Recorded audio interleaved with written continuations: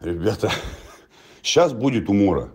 Я думаю, все наши здравомыслящие, люди с пытливым умом, обладающие критическим мышлением, вы сейчас поугараете. Я, вам- я вам серьезно относитесь к этому с юмором. Не надо это воспринимать всерьез, злиться или еще что-то. Это угар.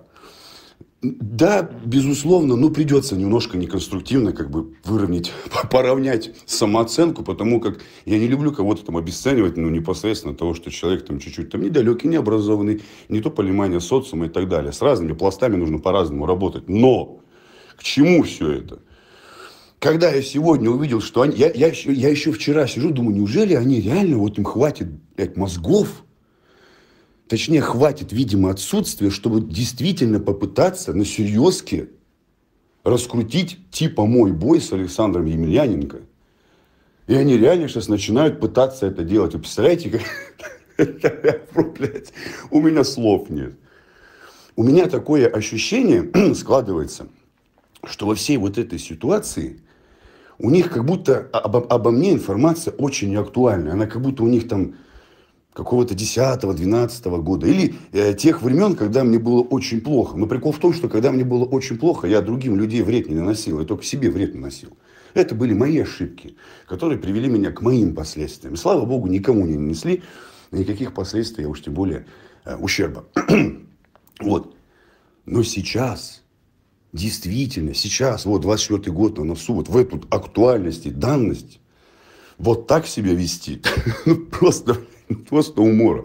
Поэтому, ребят, сейчас наблюдайте, начнутся, сейчас будут подключаться всякие мелкие там поп ММА бойцы еще там комьюнити будут подключаться. Они такие, да, давайте, а ваши должен выйти теперь и доказать все в ринге, короче. Эй, вот. Ну, вот это сейчас вы будете все наблюдать, понимаете, да. Оказывается, вот, оказывается, надо идти и вот Александру, это же честь такая, понимаете, вот Александру Емельяненко идти доказывать что-то в ринге, понимаете? Нет, не потому, что ему жрать нечего, ему деньги нужны, его лечить нужно, он бухает, он никак не может вылечиться. Его менеджмент не знает, что с этим делать, потому что ему даже на поп ММА скоро платить не будут. Все прекрасно понимают, что с такими темпами примерно через полтора годика Саши платить не будут уже нигде. Поэтому, конечно же, вцепиться в такую, как они думают, возможность, это надо делать. И вот, вот это вот начинается, короче. Поэтому наблюдаем, смеемся, берем орешки, чай.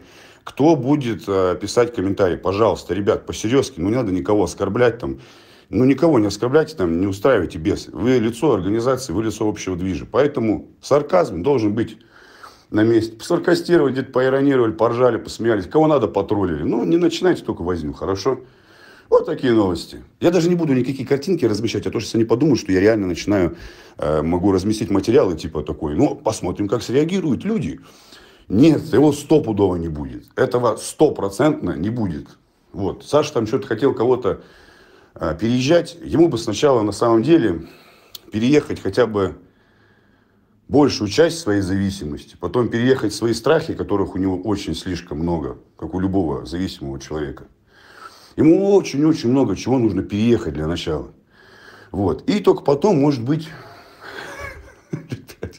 пытаться переехать меня.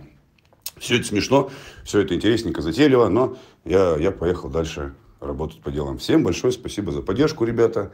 Все я вижу, все я чувствую, все очень-очень сильно. Всех обнял, приподнял.